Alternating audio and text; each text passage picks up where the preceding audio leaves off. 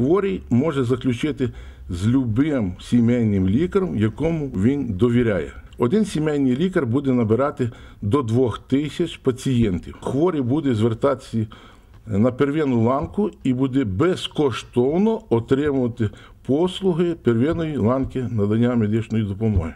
До того ж, відтепер угоду можна укласти навіть із приватним лікарем, бо, за словами головного медика краю, гроші відділятимуться не закладу, а конкретному лікарю за надані послуги. До того ж, держава надаватиме гарантований пакет медичних послуг на первинну, невідкладну та екстрену допомогу. До слова, останню цьогоріч в області теж обіцяють модернізувати. У 2017 році відкриємо єдину диспетчерську службу на базі екстреної медичної допомоги Хмельницькому і та медицини катастроф.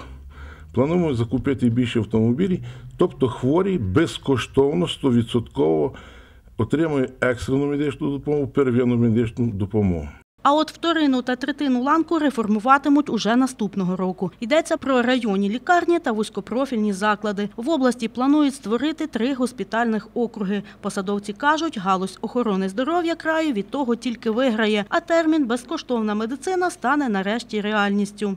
В цих госпітальних округах будуть лікарні невідкладної допомоги, де буде гарантовано чи любому хворому, бідному чи багатому надаватися безкоштовно, безкоштовно, ще заявляю, невідкладна допомога. Будуть відкриті відділення невідкладної допомоги в лікарнях інтенсивного лікування, це в центральних районних лікарнях.